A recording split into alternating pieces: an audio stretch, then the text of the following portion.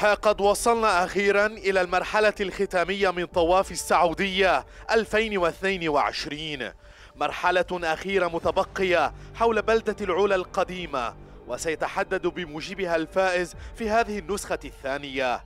الحظوظ تميل لصالح ماكسيم فان جيلز بعد فوزه الرائع بمرحلة الأمس. ينطلق البلجيكي مع أفضلية 36 ثانية اليوم. سيخوض الدراجون في المرحلة الختامية مرورا باتجاه عقارب الساعة لما يقارب 140 كيلومترا ضمن مسار مغلق حول بلدة العلا القديمة. المسار مستو بأغلبه من دون توقعات بوجود رياح قوية لذا ستكون مهمة صعبة لدراجين مثل سانتياغو بويتراغو وروي كوستا لتقليص الفارق خلف فان جيلز. هذه المرحلة سيكون التفوق فيها للدراجين المختصين بالسرعة على المسارات المنبسطة. بدأ الكثير من الدراجين بالهجوم مع ابتعاد أربعة دراجين في الأمام. لم يكن من المفاجئ رؤية مارتن أوريانستاد بينهم لمحاولة اقتناص الفوز كأكثر الدراجين نشاطا. انضم النرويجي إلى منافسه اليوناني بوليكرونيس وكذلك زميله أنتون شارمينغ الذي بدأ المرحلة سابعا ضمن الترتيب العام. رابع الدراجين هو جانيك ستايملي. حامل لواء كويك ستاب لكن حضور شارمينغ كان يعني أن مجموعة المقدمة البيلوتون لم تتركهم يبتعدون كثيرا. عمل لوتو سودال على حماية قميص فان جيلز الأخضر عبر وضع توماس دوغانت في المقدمة.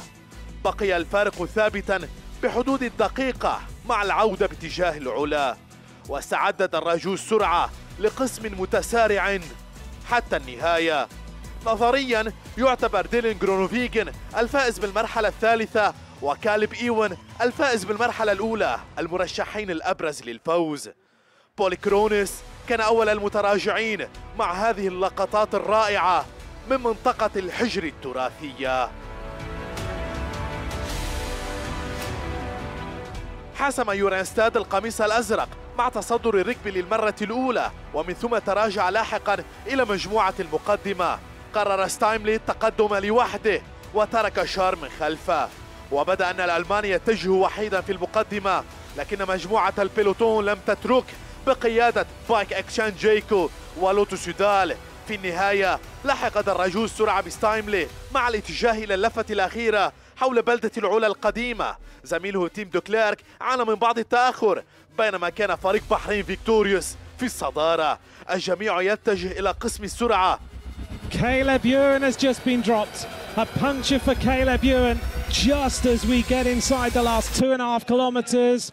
Caleb Ewan has punctured. There goes the surge of UAE left-hand side as they bring Oliveira and Gaviria through. But it is Van Poppel who seems to be near the front very, very early. And it's a big sprint starting to happen. 300 metres to go. Van Poppel kicks for home. Gaviria's there. Groenewegen starts to kick. Dylan Groenewegen, Danny Van Poppel, Groenewegen in the centre. It's going to be another victory. Two wins in the Saudi Tour. Dylan Groenewegen wins again into Al Ula. سرعة مذهلة أخرى من ديلين جرونوفيكن الذي أحرز فوزه الثاني بإحدى المراحل في طواف السعودية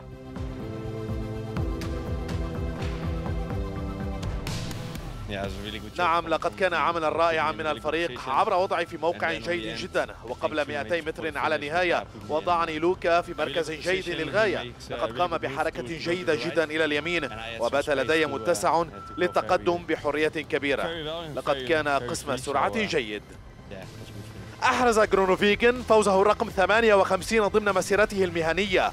مرة أخرى حقق دالين ماكلي المركز الثاني خلف الهولندي بينما أحرز دافيدي باليريني أفضل نتائجه هذا الأسبوع لقد خسر لوتو سودال المعركة اليوم بسبب انثقاب إطار دراجة إيون لكنهم فازوا بالحرب يا لها من لحظة رائعة للدراج اليافع ماكسيم فان جيلز بعمر 22 عاما You're 22 years of age.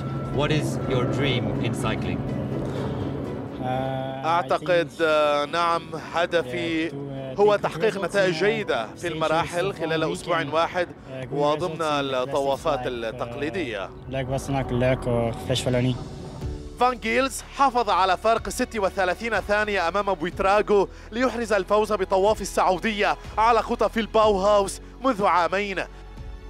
أكمل كوستا ديكلارك فان بوبال ترتيب المراكز الخمسة الأولى. فوز جرونوفيجن يعني أنه انتزع القميص الأحمر من إيون محرزا الفوز ضمن ترتيب النقاط. تمسك أوريانستاد بالقميص الأزرق منذ البداية وحتى النهاية.